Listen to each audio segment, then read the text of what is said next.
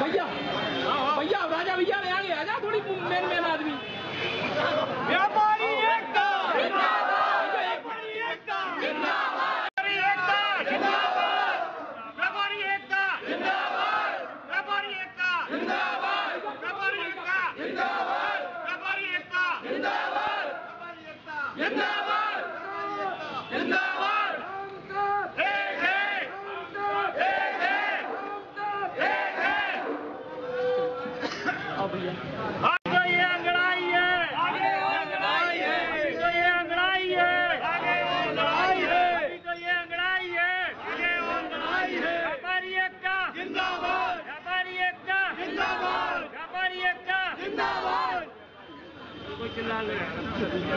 करवानी पड़ रही है से नाच करवाने पड़ रहे हैं आज आज़ादी के बाद ये सबसे बड़ा आंदोलन देश में खड़ा हुआ है के खिलाफ आज़ादी के ना तो पहले हुआ है ना तो बाद में हुआ है एक आकर्षण देना चाहते हैं।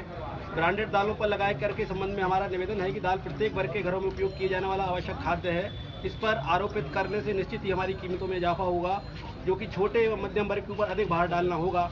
अतः श्रीमान से निवेदन है कि दालों को करमुक्त रखा जाए। मंडी शुल्क के बारे में निवेदन है कि अनाज दलहन तिलहन में पूर्व में भी मंडी शुल्क की दरें जीएसटी लागू होने के साथ साथ अनेक राज्यों में विभिन्न प्रकार की दरें हैं। जिनको एक रूप करने की कृपा करें। जीएसटी के कठिन नियमों का सरलीकरण होना भी अति आवश्यक है, क्योंकि भारत में ग्रामीण क्षेत्र का व्यापारी अत्यंत छोटा है और वहाँ पर मूलभूत सुविधाओं का भी अभाव है। इन बातों को ध्यान में रखते हुए नियमों की शुरुआत सरल तरीके से रखे जाने की कृपा करें। भारत एक कृषि प्रधान देश है, इसमें कृषि उपज पर किसी भी प्रकार का कर नहीं है। यहाँ तक कि वह आयकर से भी मुक्त है। अतः समस्त कृषि उपज को और उससे निर्मित होने वाले उत्पादों को भी जीएसटी से मुक्त रखा जाए। जीएसटी का जो आज सरकार लगा रही है, शुरुआत कर रही है आज रात को, हम सब व्यापारी बंधु इस बात से बिल्कुल जान, जानते हैं कि जीएसटी क्या है। हम लोग उस जीएसटी का विरोध नहीं कर रहे हैं, क्योंकि एक ऐसा टैक्स है जिसमें इतनी विसंगतियाँ हैं, व्यापारियों को खुद नहीं पता है, सरकार को नहीं पता, हमारे सीए हमारे वकीलों को नहीं पता है कि इसमें किस बात पे टैक्स है, कब टैक्स है, किस बिंदु पे है, फ़र्स्ट पे है, लास्ट पे कुछ नहीं पता है, फिर भी सरकार इसको लागू कर रही है। अभी पिछले दिनों एक मानस भवन में कार्यशाला आयोजित की गई थी। और वहाँ हमने काफ़ी सवाल पूछे तो किसी का भी हमें जवाब नहीं मिला।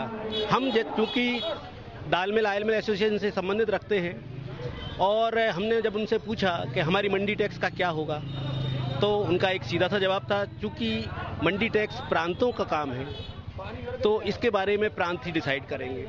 जब आप कहते हैं एक राष्ट्र, एक कर तो ये जो पीछे वाली लाइन शुरू हो जाती है, मेरे ख्याल से सब व्यापारियों की यही दशा है कि ऊपर से तो आप कह रहे हैं एक राष्ट्र, एक कर, जीएसटी।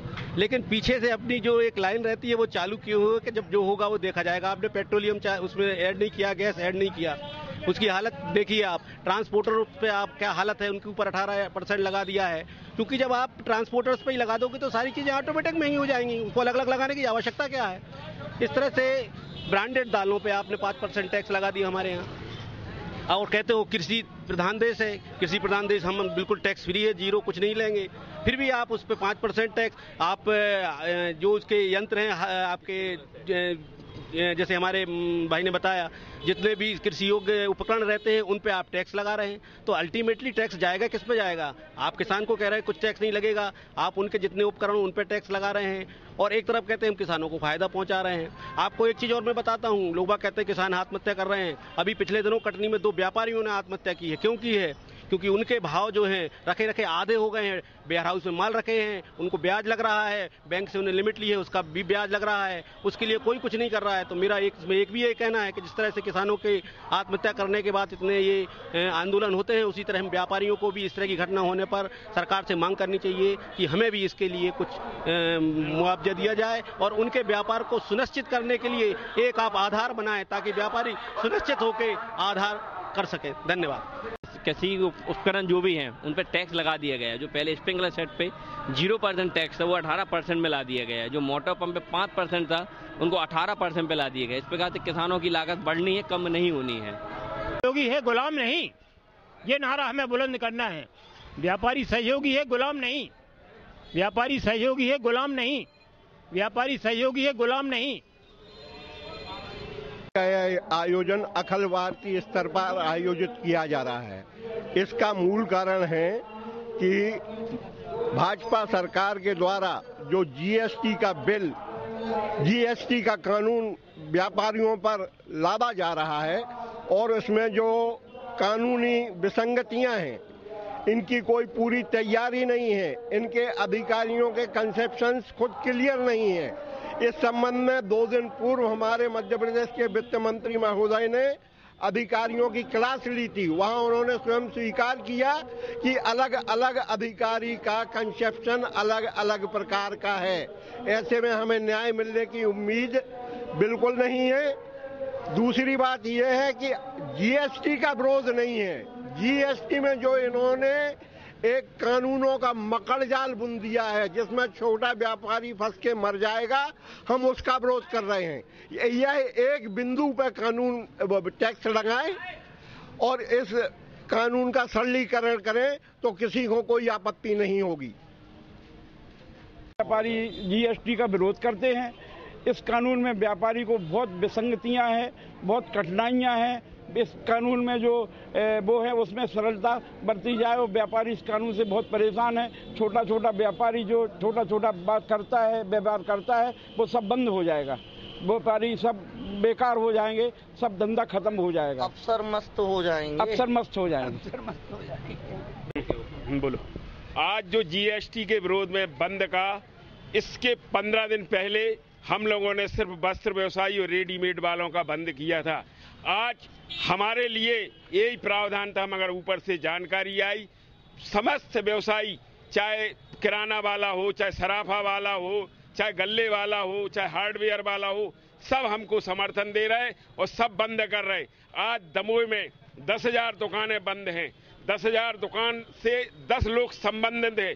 एक लाख लोगों का मौन समर्थन हमारे साथ है। और हमने बीजेपी के लिए भोपाल में बिठवाया, पंद्रह साल उनको बिठवाया, उसमें हम व्यापारियों का रोल है, ऐसा कांग्रेस भी आरोप लगाती रही है। आज दिल्ली में जो मोदी जी की सरकार बनी है, हम व्यापारियों का उसमें बिठाने में विशेष रोल रहा है, और यदि मोदी जी और दिल्ली वाले और भोपाल वाले समझते हो कि व्यापारियों की कोई कीमत नहीं तो ये ये समझ लीजिए, ऊपर वाले की लाठी में आवाज़ नहीं होता है, न इस बार मध्य प्रदेश का चुनाव में बीजेपी को पता चल जाएगा, और सेंट्रल का जब चुनाव होगा तो सेंट्रल में पता चल जाएगा। आपको ये मनमानी रोकना चाहिए, और हमारा व्यापारियों से एक निवेदन है, हम सब एक हों, और कल एक जुलाई के बाद यदि किसी के साथ एक अगस्त और पंद्रह अगस्त पे कोई भी घटना घटती है तो हम सब एक डट कर मुकाबला करेंगे। ऐसा नहीं है। आज हम जीएसटी तो स्वीकार करते हैं, मगर इनमें बहुत सी विसंगतियाँ आई हैं।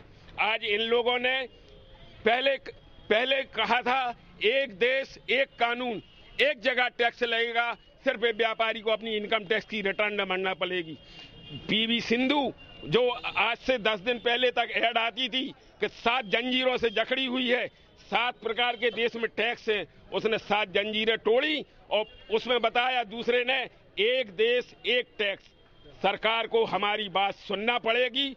हम देश के विकास में सहायक हैं।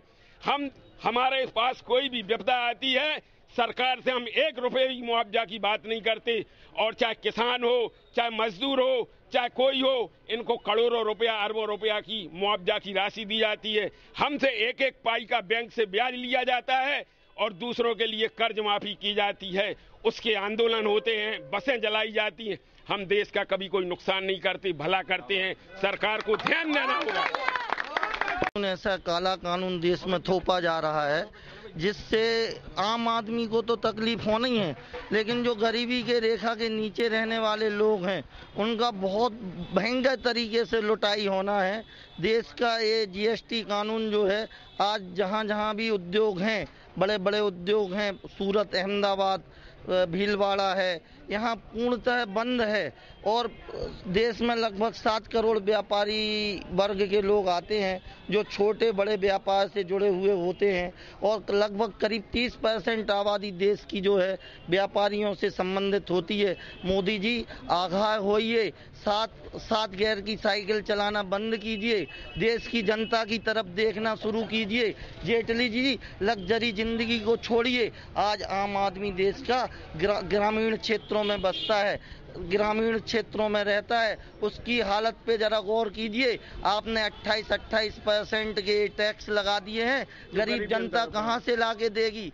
हम व्यापारी भाई इसका पुरजोर विरोध कहते हैं आम जनता से अपील करते हैं व्यापारियों के साथ में आप खड़े होइए और इस काले कानून का विरोध कीजिए। व्यापारी एकता